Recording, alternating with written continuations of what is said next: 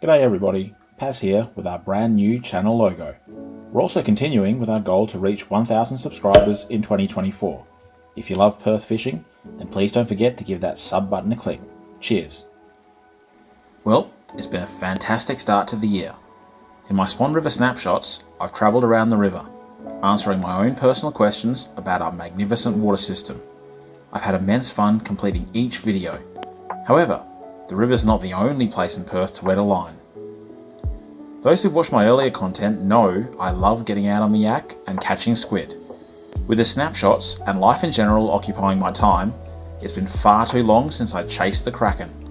With the morning free, I decided to give the river a break from me and head out to bag some calamari. Check it out.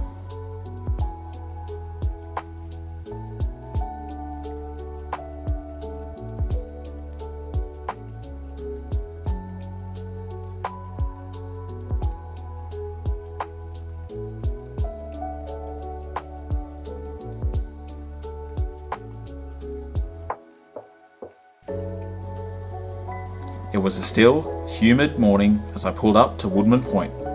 Not my usual squid grounds, but the sheltered bay looked better on the forecast. The sun was just peeking out as I launched into cool, glassy water. I wasted no time whacking in the pedal drive and heading out. It's been far too long since I caught a squid, and also got some underwater footage of them. As I moved out to the first weed bank, I hoped to do both.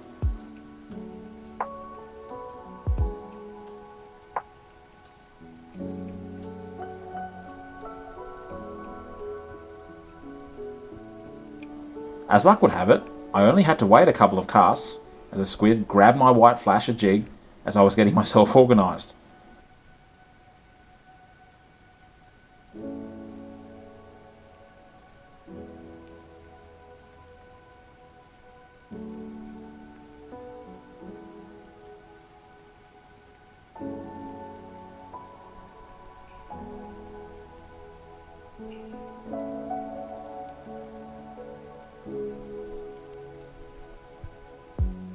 As I reeled it in, I paused for a few happy snaps.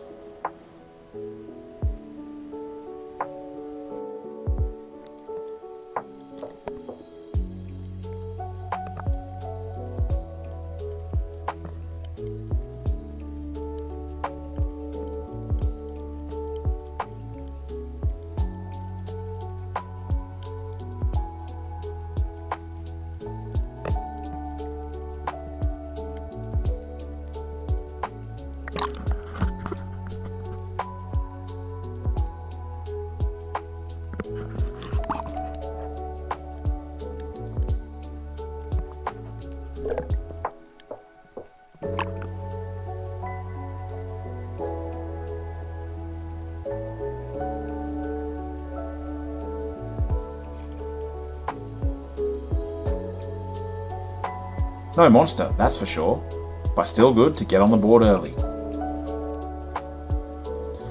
I noticed the kayak was drifting fairly fast in the current, so I kept it moving. Broken ground is haven for squid, so I made sure to move between reed patches, canvassing the area, trolling my jig slowly with a few flicks here and there, and of course enjoying the sunrise. Ten minutes later, something else came up.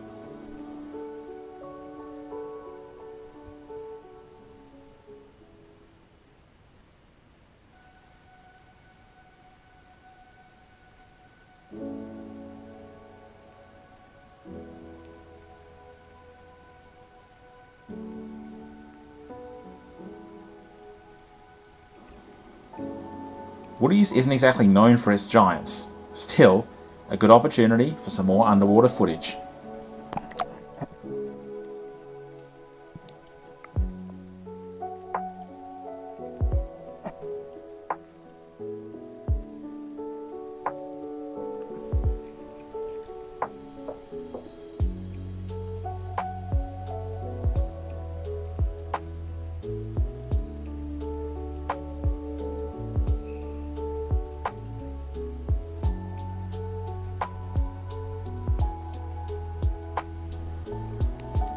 Two in the bag. I was ready to go again when a familiar face rocked up. Uncle Matt had a hankering for squid as well. As we caught up, it was the perfect opportunity to switch my white jig out for a coloured one, to coincide with the increased light.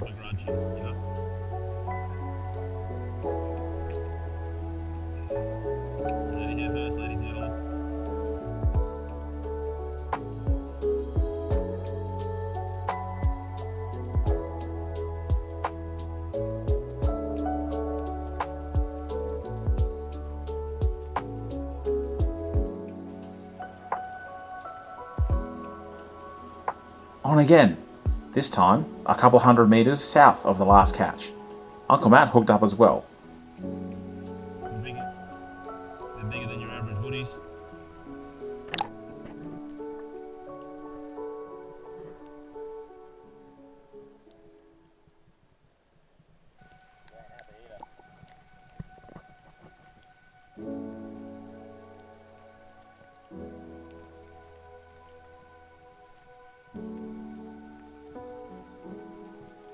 I really do love squidding.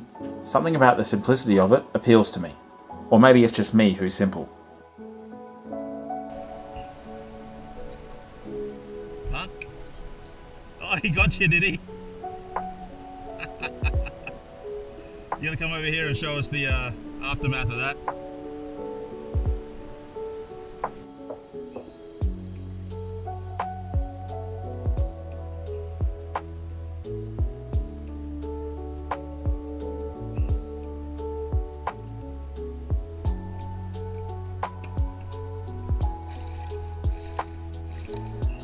With our session time coming to an end, we started a slow drift back to the launch point.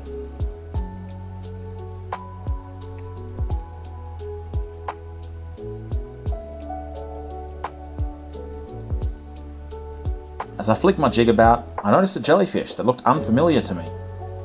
According to my research, and Uncle Matt's vast knowledge of all things marine, it's apparently a native species from up north that's been cropping up in Perth waters for the past five years or so. Weird. Still, no time to dwell on the gel, because my final squid of the day came calling, whacking my jig on the retrieve.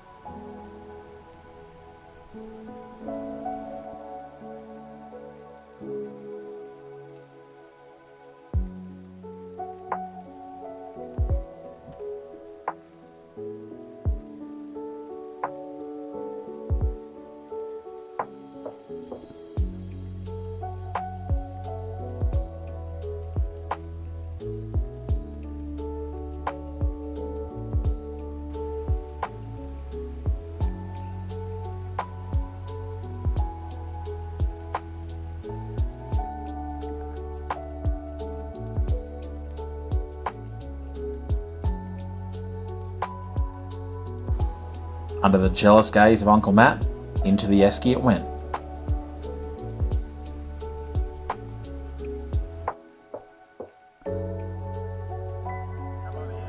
And with that, it was time to go.